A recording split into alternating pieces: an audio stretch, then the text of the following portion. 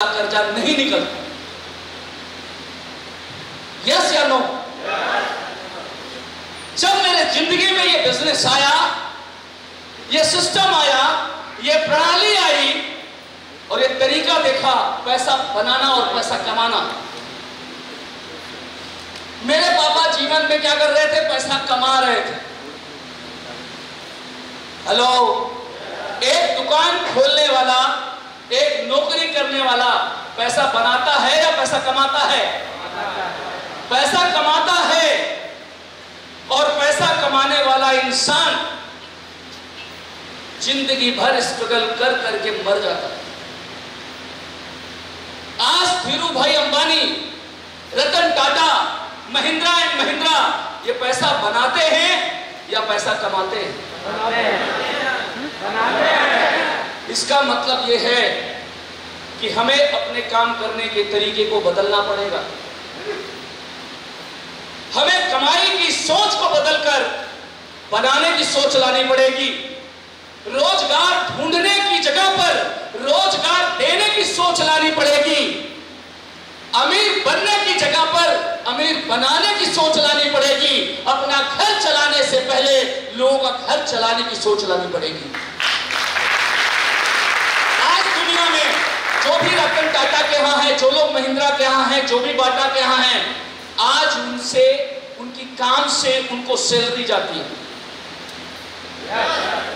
आज my life में हमारे साथ जो भी लीडर हैं ऑल ओवर इंडिया 60 लाख लोग अभी इन्वॉल्व हैं।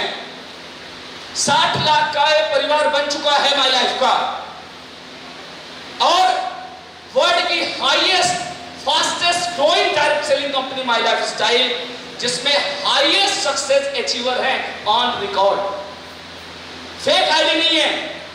हर बंदा एक्टिव मिलेगा आपको. अगर रेशियो निकालोगे तो 10 से 20 परसेंट ओनली बाकी सब एक्टिव लोग मिलेंगे जिनके घर में अकाउंट में एवरी वीक पेमेंट जा रहा है। आपसे बस एक सवाल है। आपके पास एक प्लेन है।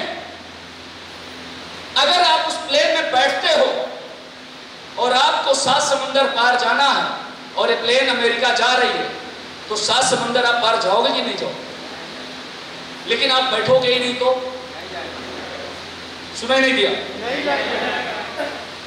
इतना स्लो आवाज़, अभी नींद में हो क्या?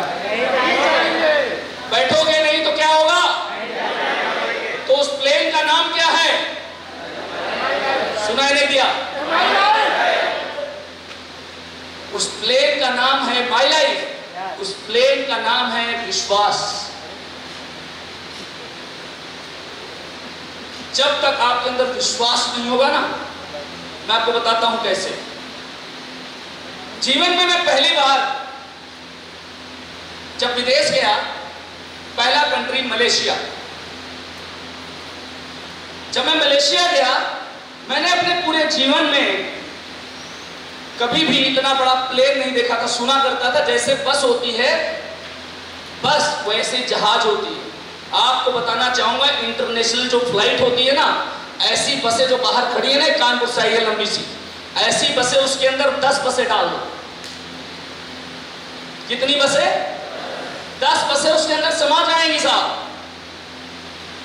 मैंने जब जीवन में पहली बार देखा और ये सुना था कि विदेश जाने में टाइम लगता है। कभी घुमा तो था नहीं। सपना बड़ा था।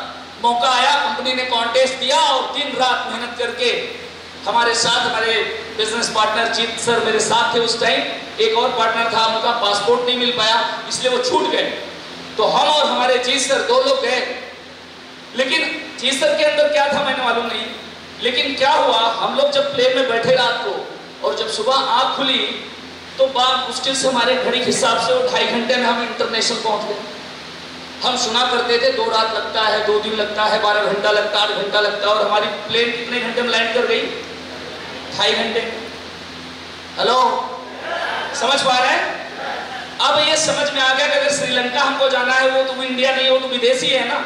लेकिन अगर मुझे इंडिया से अगर श्रीलंका जाना है तो कितना घंटे लगता है? पता आपको। पैंतीस मिनट। चेन्नई से बैठ पकड़ो फ़्लाइट श्रीलंका पैंतीस मिनट में लैंड टेक ऑफ़ और लैंडिंग में जोड़ना बस. 35 मिनट में आप श्रीलंका पहुँच जाते समझ में आ रहा तो अब मुझे मालूम नहीं था और जब मैं उतरा तो उधर क्या हुआ? जहाँ पर मैं उतरता हूँ, पूरा एयरपोर्ट रंगा हुआ हमारे मैनेजमेंट के बैनर से. कंप्यूटर की स्क्रीन भी चल रही है ना, उस पर भी. जिस प्लेन में था, वहाँ का पायलट भी वेलकम कर रहा था हम लोगों को. जिस सीट पर बैठे थे सीट के पीछे भी कंपनी का नाम लिखा हुआ था। पाटल का पानी ना, उसमें भी कंपनी का नाम था। होटल की चाबी में ना, उसमें भी कंपनी का नाम था। पागल हो गया। और उस वक्त क्या समझ में आ रहा था मालूम है? ये कोई इंडिया का ऐसा छोटा सा प्लेस है और इसको जहाँ मलेशिया बता रहे समझ में आ रहा है? और जब मैं इधर आया, लोगों ने मुझसे कहा, पासपोर्ट दिखाओ। और जब मैंने पासपोर्ट दिखाया, वीज़ा दिखाया, लोगों को अपना सारी चीज़ें तब लोगों को जाके विश्वास हुआ और फिर मुझे लगा, यार, नहीं, हम लोग विदेश गए थे। हेलो? समझ में आ रहा है? दुनिया नहीं देखी थी चुप मेरी ज़िंदगी कैसी थी। बता सकते हैं आप? मैं आपको बताता हूँ कूप मंडूक जानते हैं? एक कुएँ का जो मेढक होता है ना, उसको दायरा इतना था। मेरे पिता ने मुझे पूरी ज़िंदगी गाँव से बाहर जाने नहीं दिया। मेरे पिता ने मेरा एजुकेशन कभी भी ऐसी जगह पे नहीं लगाया कराया जहाँ पे ट्रेवल ज़्यादा हो, गाड़ी का यातायात का साधन ज़्यादा आता था, जाता बड़ा प्यारा बेटा था। बड़ा था। तो उनको बड़ी हमसे मोह थी। आप मुझे एक बात बताइए, आज की डेट में एक ऐसे परिवार का इंसान जो कभी शहर ना घुमा उसे अचानक प्लेन से विदेश भेज दिया जाए, उसकी सोच, उसकी ज़िंदगी, उसकी लाइफ स्टाइल उसकी थिंकिंग कहाँ होगी बताइए? जो खाना वहाँ पर था, जो व्यंजन वहाँ पर था, मैंने जीवन में कभी देखा ही नहीं आपसे देखा ही नहीं था। अगर ये चीज़ एक अवसर आया, एक मौका मिला विदेश जाने का राइट अब हमारे साथ थे हज़ारों लोग, लेकिन गए कितने लोग? दो लोग। तीन अचीवर हुए, एक पासपोर्ट नहीं दे पाया, इसलिए नहीं है। तो जो कॉन्फिडेंस आया हमारे अंदर जो जीत के अंदर है कॉन्फिडेंस आप जीत बोलते हैं स्टेज से कि हम दो करोड़ प्लस कमा चुके हैं। ये दो करोड़ कमाने की जो सोच आई, वो कहाँ से आई? हेल्प मी कहाँ से आई? जो भी कॉन्टेस्ट आया, उसको इन्होंने छोड़ा नहीं। और एक कंट्री नहीं, कई कंट्री घूमे। और ये अकेले नहीं, मेरे साथ कम से कम छियासी लोग विदेश घूमे। ये वो लोग थे जिन्होंने कभी ज़िंदगी में प्लेन देखा नहीं था। अर्थात मैंने भी नहीं देखा। वो चिड़िया की तरह उड़ती हुई इतनी दिखती थी छोटी सी तो मुझे लगता था इतनी वाली प्लेन थोड़ी बड़ी होगी और क्या होगा। समझ में आ रहा है? हेलो आप लोगों से मेरा कहने का मतलब क्या है? समझ में आ रहा है? मैं क्या कहना चाहता हूँ। विदेश में कब गया? जब अंदर से विश्वास आया कि मैं इसे अचीव कर सकता हूँ।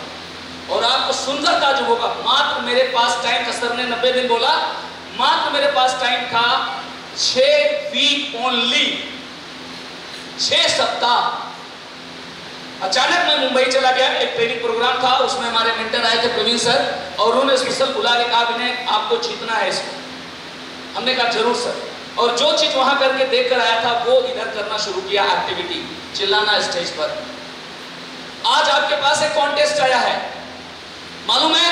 Yes. ये कॉन्टेस्ट जो आया है, आप क्या मानते हो? अचीवर बनोगे आप सब लोग? लेकिन कहते हो, बारह वीक लगातार कैसे होगा? दिल में हाथ लगे पूछो।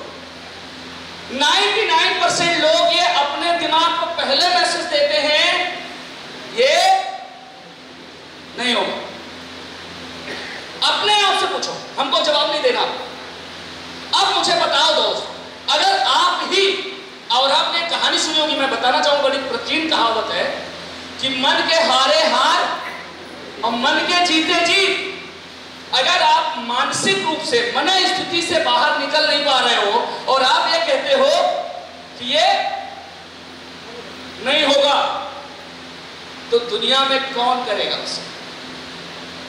पड़ोसी करेगा, सीनियर करेगा, कौन करेगा?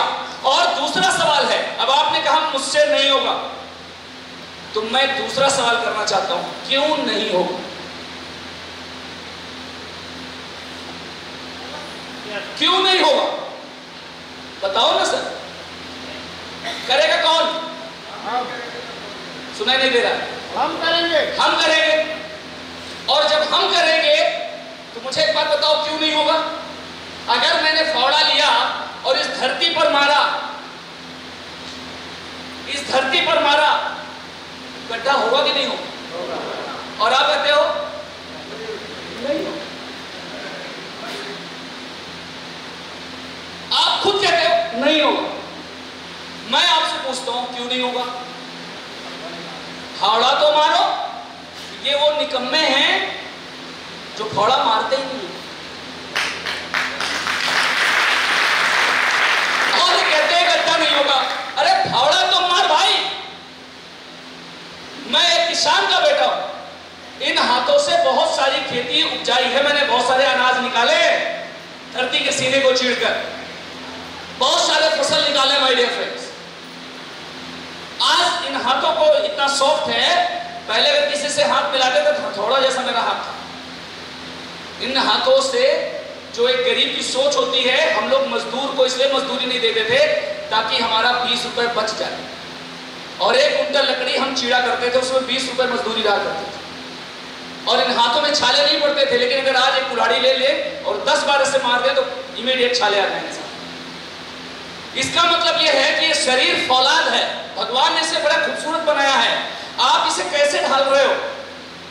यही मई के महीने में हमारी ज़िंदगी निकल जाती थी। आज की डेट में ये नॉर्मल अभी गर्मी है साहब। ये गर्मी से पसीने टपक रहे हैं। और उस चिलचिलाती धूप में, गर्मी में कोई फ़र्क ही नहीं पड़ता था। ये है शरीर। इसको जैसा बनाओगे, ये वैसा ढल जाएगा, वैसे बन जाएगा। मैं आज आप लोगों से कोई भी बात बताने के पहले एक बात जानना चाहता हूँ।